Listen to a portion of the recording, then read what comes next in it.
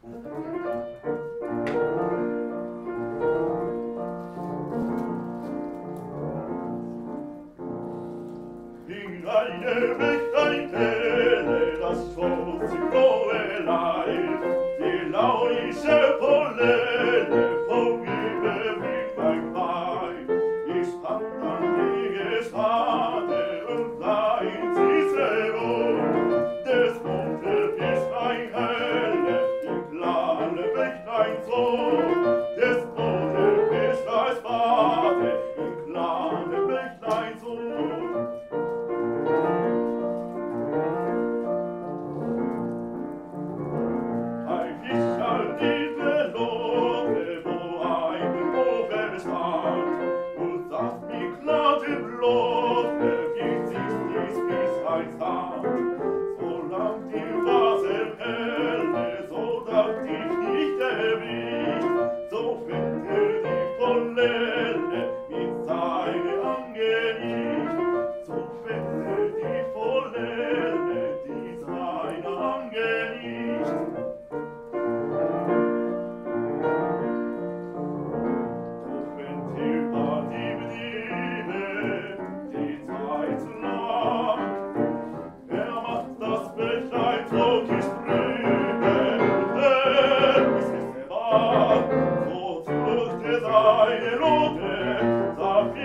Lichtlein, das Lichtlein sagt der Drang, und ich mir die Brüte, der da die Betrang